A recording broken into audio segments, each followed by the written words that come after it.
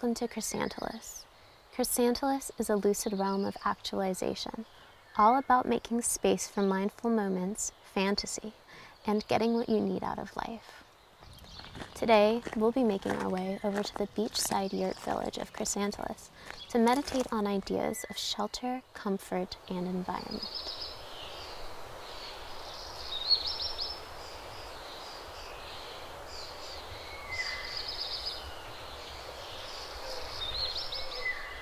The yurt is air conditioned and cool while the day is humid and hot.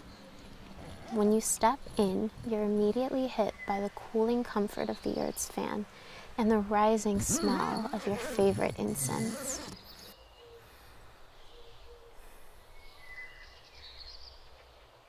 The room is beautiful, decorated with art and relics from throughout the world. The environment is clean, intimate, and puts you at ease. Within this ease, you ponder the following questions How do I keep my environment? How does my dwelling make me feel? What is the spirit of my shelter? Let's now sit comfortable and upright in this tranquil environment. How can I better manage my environment? How can my dwelling make me feel better? How can I uplift the spirit of my shelter? Continuing with these thoughts, let's begin.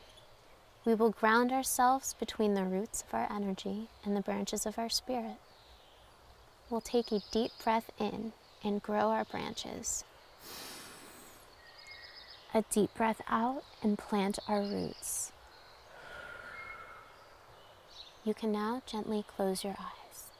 A deep breath in to grow our branches, and a deep breath out to plant our roots. Again, deep breath in, deep breath out.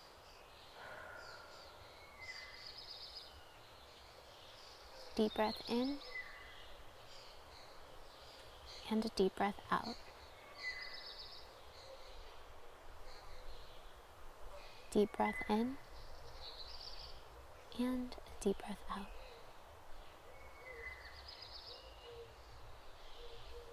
Check in with your body by doing a scan from the top of your top to the bottom of your bottom.